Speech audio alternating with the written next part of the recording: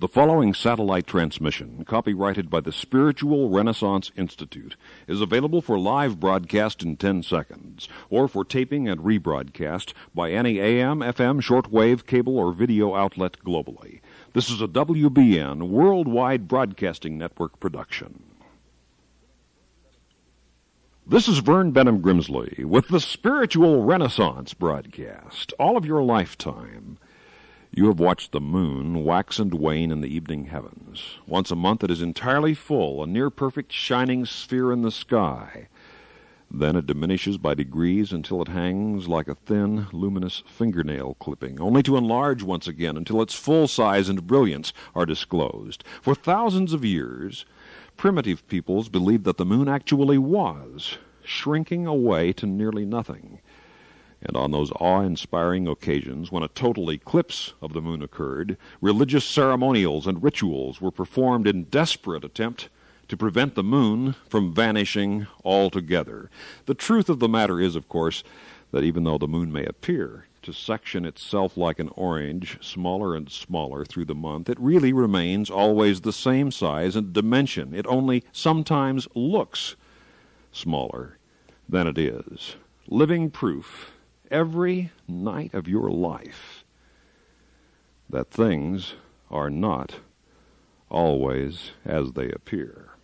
This is a vital parable of the spiritual life.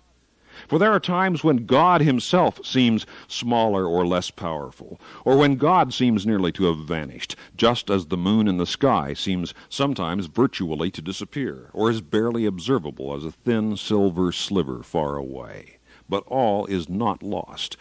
God has not vanished. God is real and alive and there, even though he may appear not to be. Just as the moon is always just as large as always, no matter how diminished it may appear to be. The eternal God, your Father and your friend, is ever present and is changeless in his omnipotence, his omniscience, and his love. God is infinite and eternal, and God is the font of all reality, the creator of all things, and God is above all your loving Father and your friend, who cares for you with an affection which is astonishing in its magnitude. Because human beings are so often so fickle and unreliable, many assume that God Himself might be thus capricious and flighty in his moods and whims, pleasures and angers. Yet the living God is constant in his goodness, truth, and beauty. Even when you think you can't rely on anybody on this earth, you can still rely on God. Ancient Hebrews conceived of God as the deity of the Horeb volcano, sometimes serene and sometimes erupting passion. But the highest thinking of the greatest of the prophets and spiritual teachers came to represent God not as an erratic despot, but as a loving father and a friend. Wrote Malachi, Have we not all one Father? Has not one God created us? Perhaps an emotionally unstable earthly mother or father might be kind one day and cruel the next, but not so with the living God. God is consistent and unwavering in his goodness and his mercy, his fairness and his love. God is not friendly at some times and then surly at others. God is amazingly consistent in his reactions and his relationships. Just as a good parent is always loving toward a child, God is always compassionate toward humanity, and more specifically toward you, yourself, you personally. God loves you with an enduring and overwhelming love. God has a will for your life, which is the greatest good imaginable for your life. God cares for you and wills to put that caring into action. God bears for you not merely an abstract but distant fondness. No, God is right there where you are, in the dust and sweat of daily human life helping you with your decisions, your actions and reactions, your hopes and follies, your dreams and difficulties. Whatever may befall you, God is there, and God loves you, and God wants all good things for you. When you encounter some problematic decision to make, God will help you to solve it. God will assist you in choosing the best alternative of the many choices you may face in some situation. God can give you both the inspiration and the insight to find your way down the sometimes dark and shadowy pathways of human life in order that you may reach the end of your days with peace and joy and love as a spiritually satisfied son or daughter of God. As you were born and intended to be, these things you need most in life are spiritual things. They're not power, wealth, and fame, but truth and beauty and goodness and strength and courage, peace and purpose. And all of these spiritual things are contained within the living will of the living God for your life, His plans and purposes for your existence.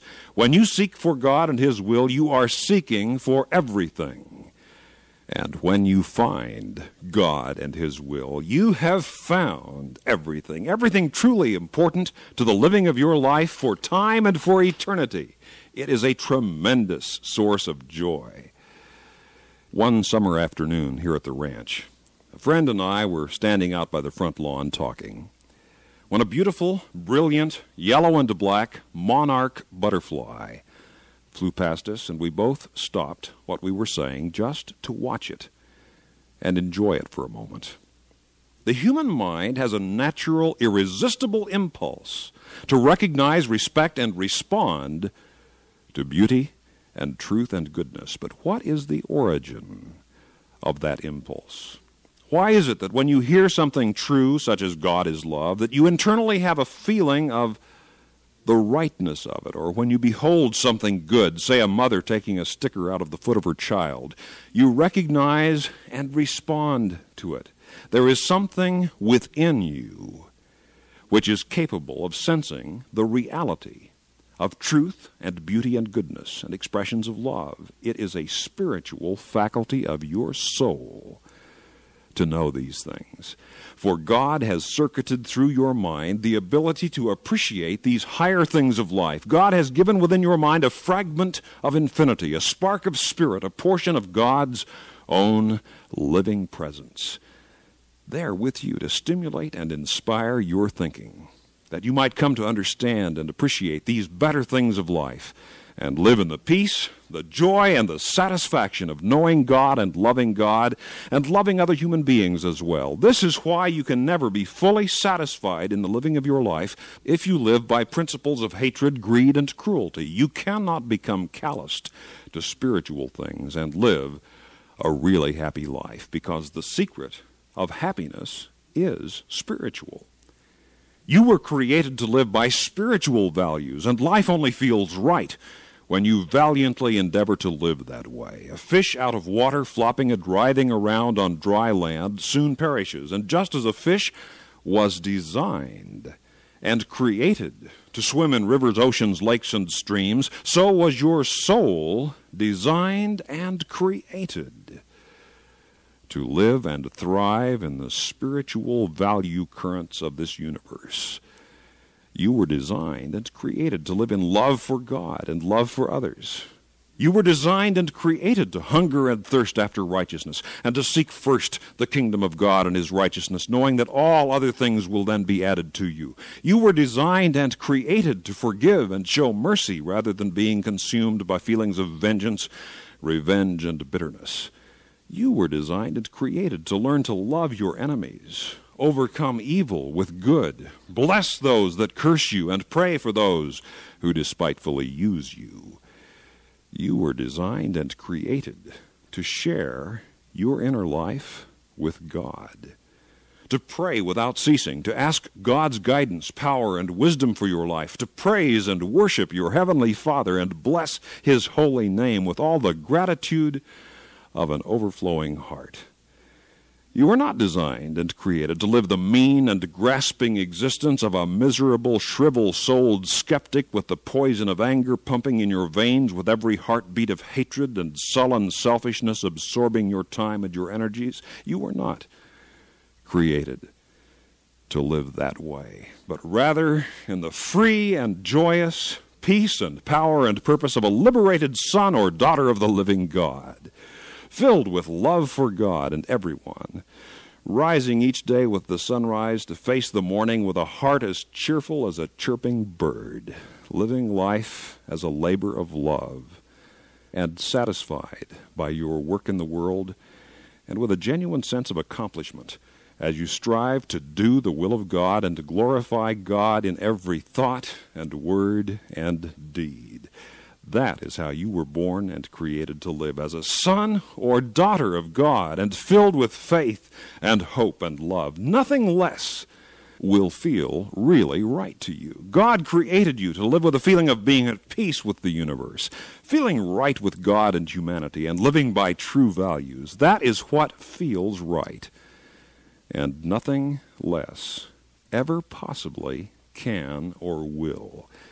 For you are a child of the infinite, craving infinity, a son or daughter of the eternal, yearning eternity, a child of the living God longing for fellowship with the living God and satisfied by nothing less than that. Nothing less than a vital daily companionship with God, which you can have and grow in more and more with every passing day from here to eternity, beginning by faith right here, right now, this very moment. Write to us, will you, at the Spiritual Renaissance Institute for some free literature on the spiritual life, which I've written. Growing spiritually, finding God, getting to know God, seven principles of prayer, the fatherhood of God, the brotherhood of man, life after death. What happens when you die? Does life go on, and what does it mean for you? All of this literature, yours free, simply writing to the Spiritual Renaissance Institute. Write to us at the Spiritual Renaissance Institute, Box 3080, Oakhurst, California, 93644, United States of America. This is a non sectarian, non profit program proclaiming the dawning spiritual renaissance, the fatherhood of God and the brotherhood of man, the worldwide family of God. And so for now, this is Vern Bennom Grimsley saying, May God's will be done by you. Good day.